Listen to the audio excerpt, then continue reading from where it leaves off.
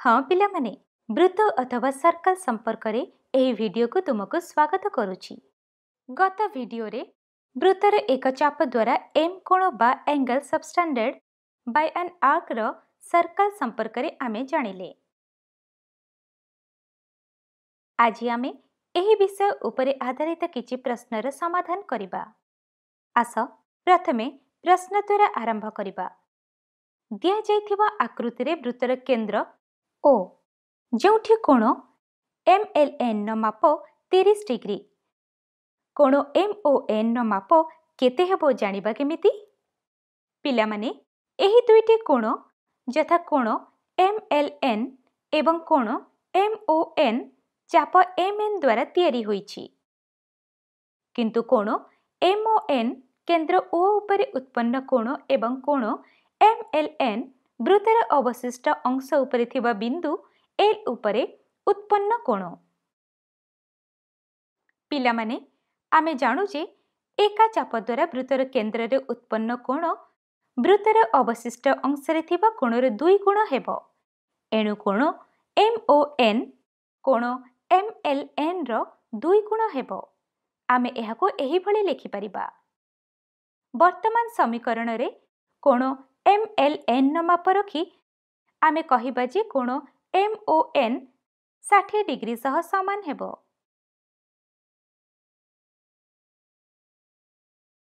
ଏଥର ଆସ ଆଗକୁ ବଢ଼ିବା। ପରବର୍ତ୍ତୀ ପ୍ରଶ୍ନ ସହ। ଦତ୍ତ ଆକୃତିରେ ଓ ବୃତ୍ତର କେନ୍ଦ୍ର। ଏହାର ବ୍ୟାସ ଏ ଡି କୋଣ ବି ଓ ଡି ଶହେ କୋଡ଼ିଏ ଡିଗ୍ରୀ।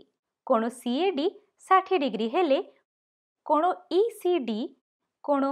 ଏ ସି ଏବଂ କୋଣ? ସି ଡି ଏର ମାପ ନିର୍ଣ୍ଣୟ କର।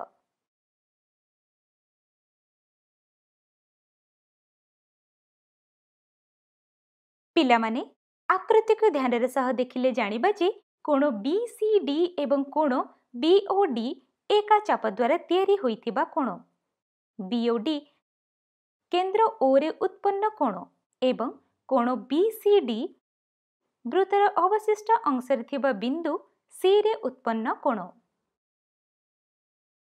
ଆମେ ଏହା ଜାଣୁ ଯେ ଏକ ଚାପ ଦ୍ୱାରା କେନ୍ଦ୍ରରେ ଉତ୍ପନ୍ନ କୋଣ ବୃତ୍ତର ଅବଶିଷ୍ଟ ଅଂଶରେ ଥିବା ଉତ୍ପନ୍ନ କୋଣର ଦୁଇ ଗୁଣ ହୁଏ। ଏଣୁ କୋଣ ବି ଓ ଡିର ମାପ କୋଣ ବି ସି ଡିର ଦୁଇ ଗୁଣ ହେବ। ଏହାକୁ ଆମେ ଏହିଭଳି ଲେଖିପାରିବା। ଆମକୁ କୋଣ ବି ଓ ଡିର ମାପ ଦିଆଯାଇଛି। ବି ଓ ଡି କୋଣର ମାପ ରଖି ଆମେ ବି ସି ଡି କୋଣର ମାପ ପାଇପାରିବା। ଆମକୁ ବି ସି ଡି କୋଣର ମାପ ଷାଠିଏ ଡିଗ୍ରୀ ମିଳିଲା। ଏଣୁ କୋଣ ଇ ଡିର ମାପ ମଧ୍ୟ ଷାଠିଏ ଡିଗ୍ରୀ ହେବ।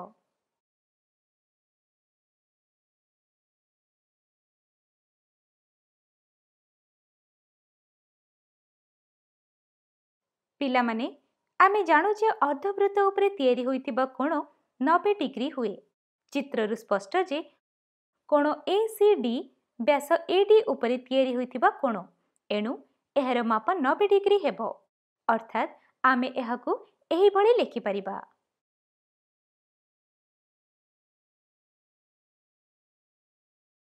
ଆମକୁ ଏଠାରେ କୋଣ ଏ ସି ଡି ଏବଂ କୋଣ ଇ ସି ଡିର ମାପ ଜଣା। ଏଗୁଡ଼ିକର ମାପ ନେଇ ଆମେ କୋଣ ଏ ସି ଇର ମାପ ଜାଣିପାରିବା। ଆମକୁ କୋଣ ଏ ସି ଇର ମାପ ତିରିଶ ଡିଗ୍ରୀ ମିଳିଲା ପିଲାମାନେ ଏହି ଭିଡିଓକୁ ଅଳ୍ପ ରୋକି ତୁମେ ନିଜେ କୋଣ ଏ ଏ ସିର ମାପ ନିର୍ଣ୍ଣୟ କର ଏହି ତ୍ରିଭୁଜ ଏ ଇ ସିକୁ ଦେଖ ଆମେ ଜାଣୁ ତ୍ରିଭୁଜର ତିନି କୋଣର ସମଷ୍ଟି ଶହେ ଅଶୀ ଡିଗ୍ରୀ ହୁଏ ଏଣୁ ଆମେ ଏହିଭଳି ଲେଖିପାରିବା ଆମକୁ ଏହି ଦୁଇଟି କୋଣର ମାପ ଜଣାଅଛି। କୋଣ ଏ ସିର ମାପ ଆମକୁ ନବେ ଡିଗ୍ରୀ ବୋଲି ମିଳିବ। ବର୍ତ୍ତମାନ ଆମେ କୋଣ ସି ଡି ଏର ମାପ ଜାଣିବା। ଆମକୁ ତ୍ରିଭୁଜ ଏ ସି ଡିର କୋଣ ସି ଏ ଡି ଦତ୍ତ ଅଛି ଏବଂ କୋଣ ଏ ସି ଡିର ମାପ ଆମେ ଜାଣିଲେ।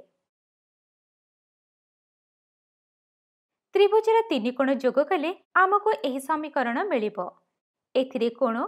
ସି ଏ ଡି ଏବଂ କୋଣ ଏ ସି ଡିର ମାପ ପ୍ରୟୋଗ କରି ଆମେ ଜାଣିବା ଯେ କୋଣ ସି ଡି ଏର ମାପ ତିରିଶ ଡିଗ୍ରୀ। ଏହିଭଳି ଆମେ ଏହି ତିନୋଟି କୋଣର ମାପ ଜାଣିଲେ। ପିଲାମାନେ ଆଜିର ଅଧ୍ୟାୟରେ ବାସ୍ ଏତିକି।